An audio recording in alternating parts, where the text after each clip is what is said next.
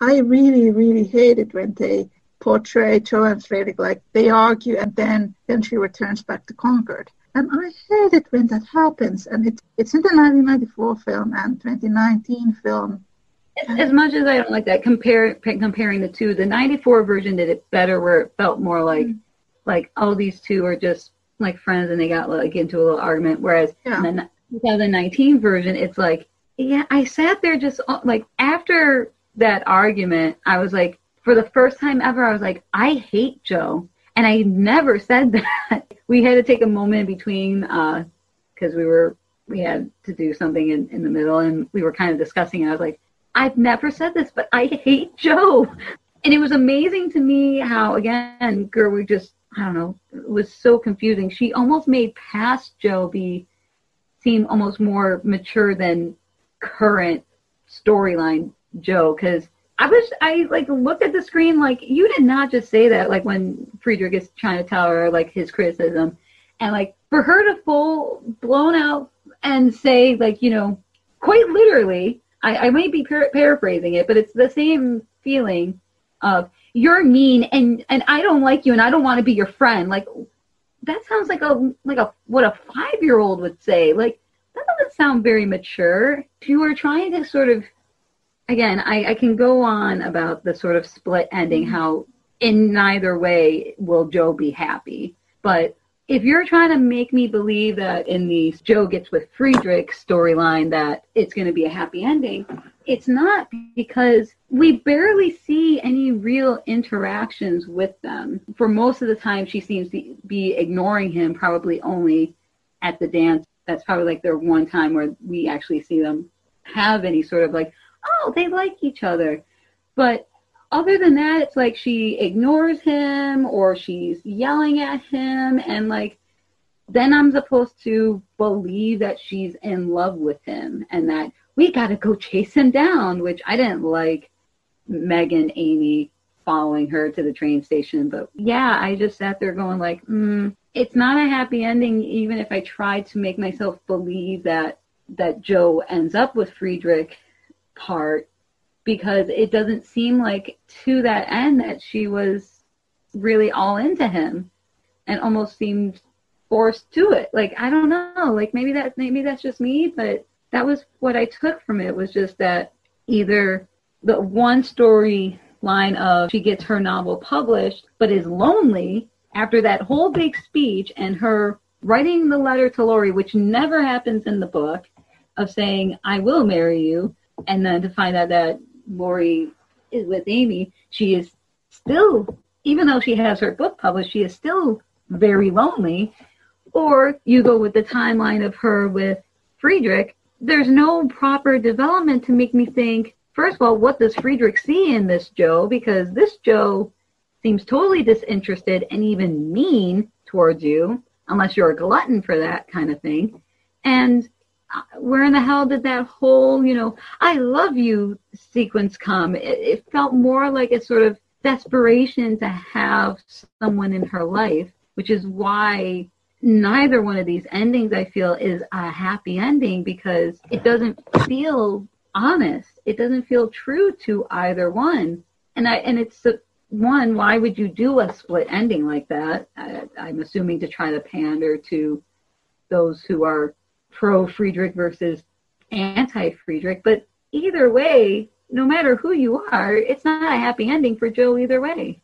Yeah, I remember Jimena from the other art blog. She said that that whole scene of Jo shouting at him made her feel very uncomfortable. And then she read the book and it was completely different. And she was really shocked by it. I talked to Alcott scholar, Susan Bailey, and I remember that she told me that she felt that Gerwig's film was all about money. Well, if you think about it, it tries to appeal to asexuals, LGBTQ community, Jo and Laurie shippers, those who want Jo to be a spinster, and those who want Jo to be with Freddy. And no, none of the characters doesn't have any kind of storyline because of this open ending. So it's all yeah. about the money and hate speech. Because if you think about it, he made a hate speech complaining about Friedrich's accent and him being German. When I read the 2019 film guide, Gerwig also said that she felt really sad how Louisa May Alcott rewrote her life to her books. So I got this uh, feeling that Gerwig, she must have a, had some kind of feeling that, well, Little Woman was a, a wish fulfillment and that she was very lonely and that's why she wrote these happy endings to her characters. And yet they decided to go with this um, open ending and to make fun of the novel.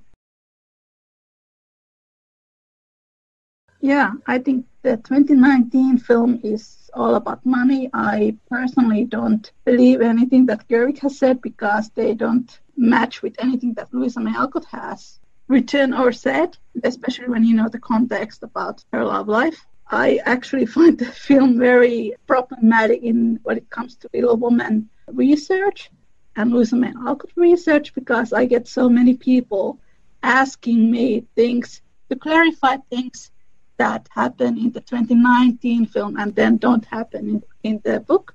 I read this um, blog post on Tumblr from someone who had seen the 2019 film and then uh, they were trying to explain why glory. And they said, oh, it's because Jo just wanted to live happily free in New York or that she wanted to travel the world. And I'm like, well, I've read the book. Jo is not very happy when she's in New York. And um, somebody also commented and that when people think about Jo being uh, alone in New York and happy, they are thinking uh, Sex and the City or uh, some other modern TV series. Because when the book Jo is in New York, she's actually 90% of the time with Fritz, and then 10% of the time she's with kids, or then she's writing about her writing. But honestly, most of the time she's somehow with Fredrik in different situations. When she write, writes to home, it's all about Fredrik in her letters. And she spends a year in New York, very long time when you are trying to get to know someone. When I think about Jo and Fredrik in, in New York, neither one of them actually really to be there that much. Uh, Fredrik has this dream that he could have a family and maybe live somewhere in the countryside or have more of a closer connection with nature or uh, establish himself as a as a as a teacher again.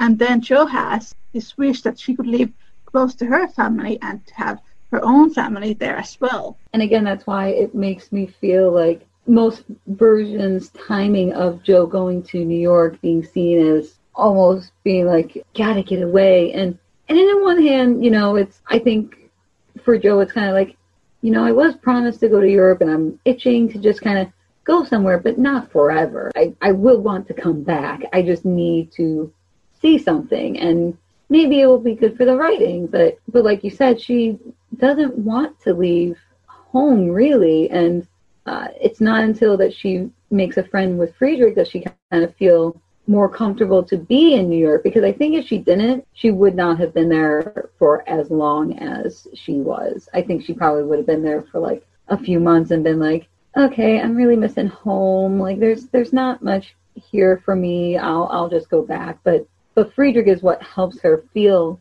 much more comfortable being in New York. And uh, it's almost a sense of, with him, a home away from home, that they both understand each other and they both have that same sort of familiarity that makes homesickness feel better.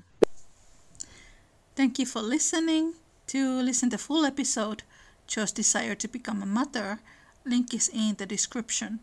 You can listen Little Woman podcast on Spotify, iHeartRadio, and other major podcast platforms. If you would like to get updated every time when a new ep- when new episodes appear, you can join the newsletter at littlewomanchannel.substack.com. Take care and make good choices. Bye.